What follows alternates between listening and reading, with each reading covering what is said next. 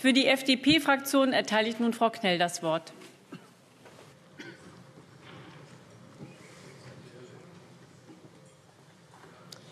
Frau Präsidentin, werte Kolleginnen und Kollegen! Bei so manchem Redebeitrag wünscht man sich ja, dass ähm, ja, die von der, oder der von der AfD kritisierte Kondomführerschein vielleicht auch schon ein paar Generationen vorher unterrichtet worden wäre. Vielleicht hat uns das das eine oder andere hier erspart. Aber lassen Sie mich auch ähm, lassen Sie mich, arm ist das, was Sie hier abliefern, und zwar jedes Mal. Man denkt immer, es geht nicht mehr schlimmer, und dann kommen Sie und äh, überzeugen uns vom Gegenteil. Und dann am besten noch gleich zweimal hintereinander. Also es ist ähm, wirklich unfassbar, was wir hier teilweise ertragen müssen.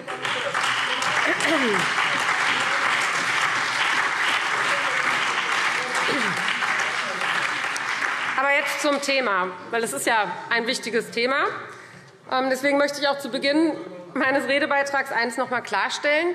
Das Grundgesetz verspricht allen Menschen gleiche Freiheit und gleichen Schutz, und zwar egal, wen sie lieben, egal welchem Geschlecht sie sich zugehörig fühlen. Und das ist für uns Freie Demokraten selbstverständlich. Jeder Mensch kann selbst entscheiden, wie er lebt, wie er liebt. Für die persönliche Freiheit sollte die sexuelle oder geschlechtliche Identität vollkommen unerheblich sein. Ja, aber leider, leider, leider werden viele Menschen noch immer deshalb diskriminiert, und zwar auch von Ihnen. Und darum will auch die Ampelkoalition z. B. Artikel 3 des Grundgesetzes um das Merkmal der sexuellen Identität bei den ähm, besonderen Diskriminierungsverboten ergänzen. Und auch wir wollen ein Familienrecht schaffen, das der Vielfalt des äh, Zusammenlebens Rechnung trägt. Und schlussendlich müssen wir auch dafür Sorge tragen, dass homo- und transfeindliche Gewalt als solche anerkannt wird und auch als solche bestraft wird. Und dafür sind wir dann auch auf der Landesebene zuständig. Hier erwarte ich übrigens noch mehr Engagement von der Landesregierung. Aber gut. Ich möchte diese Grundsätze zu Anfang nicht unerwähnt lassen, weil sie für ein respektvolles Miteinander in unserer Gesellschaft essentiell sind.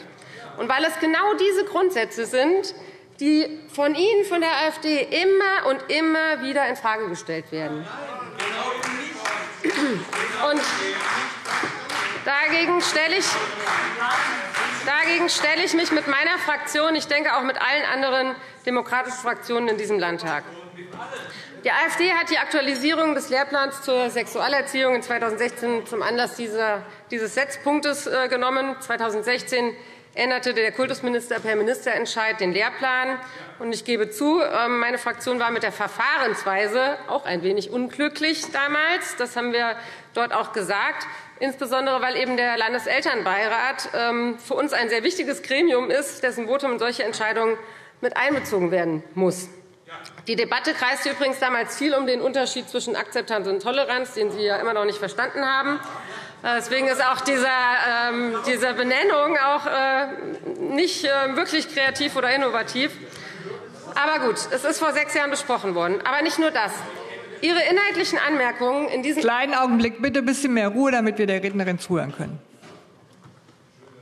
Danke, Frau Präsidentin. Ihre inhaltlichen Anmerkungen ähm, in diesem Antrag sind wirklich Hanebüchen. Sie schreiben, es gebe im Lehrplan nicht altersadäquate Inhalte, die auf Kinder desorientierend wirken könnten. Und dann nennen Sie als Beispiel, äh, jetzt kommt's, dass in der Altersgruppe sechs bis zehn Jahre das Thema unterschiedliche Familiensituationen besprochen werden soll. Meine Damen und Herren der AfD, unterschiedliche Familiensituationen sind in diesem Land Realität. Tausende Alleinerziehende Tausende Alleinerziehende, Regenbogenfamilien, Patchworkfamilien, Pflegefamilien arbeiten Tag und Nacht dafür, Kindern ein liebevolles Zuhause zu geben. Ich finde es eine Frechheit, dass Sie erwarten, dass diese Realität in der Schule ausgespart wird. Meine Damen und Herren, an dieser Kritik ist nämlich nur eins desorientierend. Das ist Ihre Verweigerungshaltung, Ihre Verweigerungshaltung, unterschiedliche Realitäten in diesem Land anzuerkennen. Wenn Sie das Thema Sexualerziehung schon auf die Tagesordnung setzen, dann wäre es wünschenswert gewesen, ähm, ja, um heute auch mal zu schauen, was denn eigentlich im Sexualkundeunterricht noch fehlt. Und wir haben heute Morgen das Thema gehabt. Ich beschäftige mich in meiner politischen Arbeit viel mit dem Periodentabu und der Endometriose. Und wenn ich ehrlich bin, da sehe ich zum Beispiel noch viel Bedarf für Aufklärung, sowohl über die Menstruation selbst aber auch damit äh, verbundene Krankheiten wissen junge Mädchen und Jungen viel zu wenig. Und dabei wären mehr Informationen so dringend notwendig, um den Charme, der noch immer hinsichtlich der Periode besteht, äh, endlich aus der Welt zu räumen. Die, Grundidee die Grundidee der Änderung des Lehrplans in 2016, die Akzeptanz verschiedener sexueller Identitäten, teilen wir in meiner Fraktion geschlossen. Meine Damen und Herren, ich sage es ganz deutlich. Das Problem der Kinder ist nicht die Vielfalt von sexuellen Identitäten in unserer Gesellschaft. Das Problem ist ein Klima der Angst, das durch die AfD geschürt wird.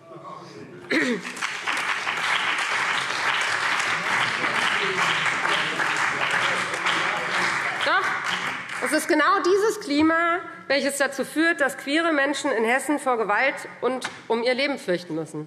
Und dass die AfD diese Debatte angesichts der aktuellen Entwicklungen auch noch hier führen möchte, ist wirklich pietätlos.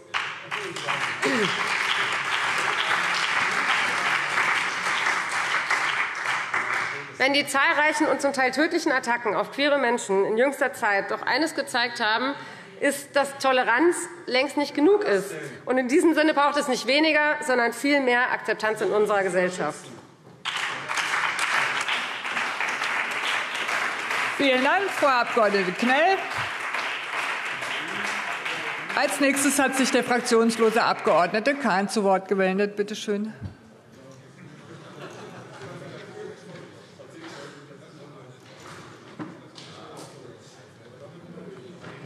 Wir hatten uns mal darauf verständigt, das haben auch mehrere schon mal vom Pult hier gesagt, dass wenn ein Redner zum Rednerpult geht, nicht vorher schon Bemerkungen gemacht werden.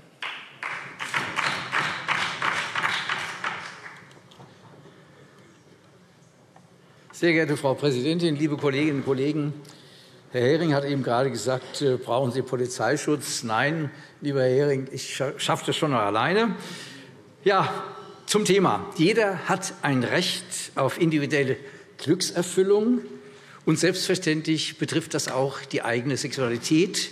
Und dieses Recht gesteht offenbar die AfD nicht, nicht allen Menschen zu. Wieder einmal inszeniert sie sich und zwar mit sehr viel Unverständnis. Und eigentlich mag man dem Ganzen gar nicht mehr anhören, denn dieser Antrag ist einer von vielen, der rückwärts gerannt ist. Äh, eigentlich ist er von gestern oder besser gesagt von vorgestern. Er demonstriert ein einseitiges Familienbild, und zwar ein, ein Familienmodell, das der Wirklichkeit völlig widerspricht. Nichts daran ist falsch, was im hessischen Lehrplan steht, was die AfD hier moniert. Es ist völlig richtig. Es muss eine Akzeptanz sexueller Vielfalt geben. Das ist im Grunde unsere Lebenswirklichkeit. Die AfD möchte uns auch weismachen, dass das elterliche Erziehungsrecht gefährdet sei. Niemand nimmt ihnen dieses Recht. Es ist ja auch grundgesetzlich verbrieft. Wer hier allerdings nicht altersadäquat ausüben, äh, Einfluss ausüben möchte, das ist die Fraktion hier auf rechts außen und deren überkommene Sexualvorstellungen, die hier einmal mehr offenbart werden. Wir lassen Ihnen das nicht durchgehen, denn mit Ihrer Auffassung fügt sie allen Menschen Schaden zu. Die AfD hat hier zwar im Landtag ein Rederecht, aber sie hat keinesfalls das Recht, andere Menschen mit ihrer Sexualität zu diskriminieren noch schlimmer, sie, die AfD verachtet eigentlich Menschen, die in ihrem Menschenbild nicht passen. Und das lassen wir wirklich nicht durchgehen. Vielen Dank. Vielen Dank, Herr Abg. Kahn. Für die Landesregierung hat jetzt der Kultusminister das Wort.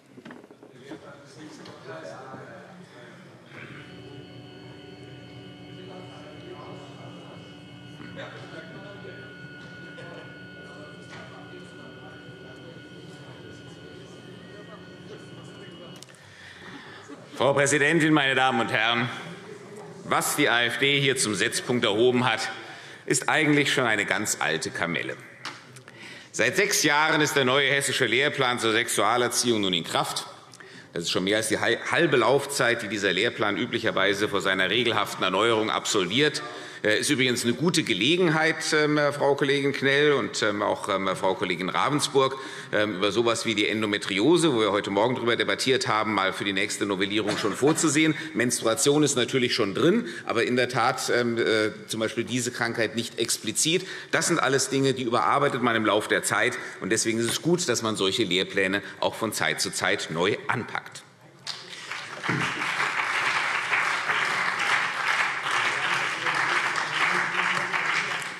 Also sechs Jahre ist dieser Lehrplan jetzt in Kraft.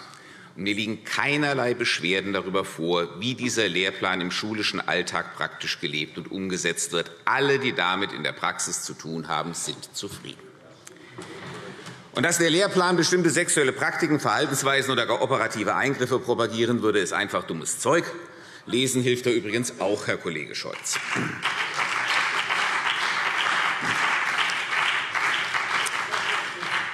Und auch das Gutachten des Kollegen Windorf zur angeblichen Rechtswidrigkeit dieses Lehrplans ist jetzt schon sechs Jahre alt und übrigens auch ohne weitere Konsequenzen geblieben. Aber da Sie ja nichts Wichtigeres zu tun haben, als längst geführte Debatten wieder aus der Gruft zu holen, will ich hier noch einmal die grundlegenden Parameter für Sexualerziehung in der Schule hinterlegen, wie sie das Bundesverfassungsgericht schon 1977 statuiert und seither auch immer wieder bekräftigt hat. Es gibt eine Gleichrangigkeit des elterlichen Erziehungsrechts mit dem Erziehungsauftrag des Staates. Die individuelle Sexualerziehung gehört zu dem natürlichen Erziehungsrecht der Eltern nach Art. 6 Abs. 2 Grundgesetz.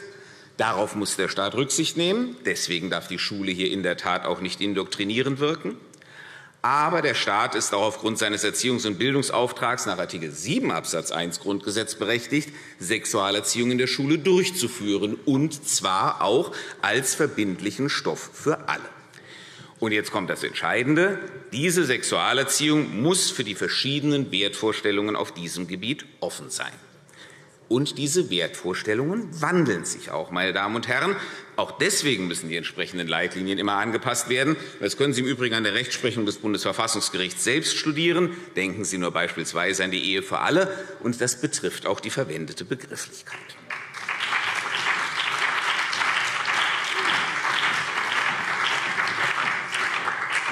Sie propagieren den Begriff der Toleranz. Das ist schön. Den verwendet ja sogar die Landesverfassung in der noch altertümlichen Form der Duldsamkeit, allerdings bezogen auf religiöse und weltanschauliche Empfindungen, nicht auf sexuelle Identitäten oder Orientierungen. Das ist ein wesentlicher Unterschied.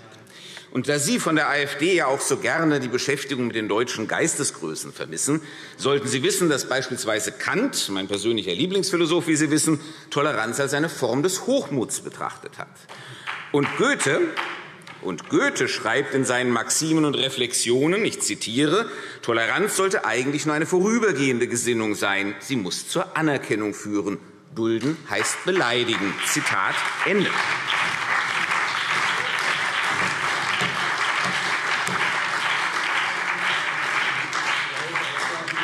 Und diesen Hinweis, meine Damen und Herren, beherzigen wir eben auch noch nach fast 200 Jahren.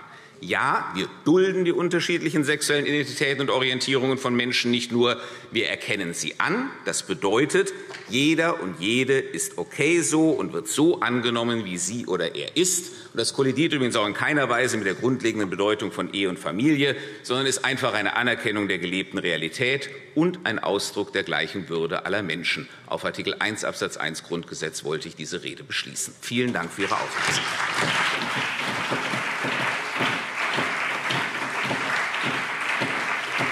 Vielen Dank, Herr Staatsminister Lotz.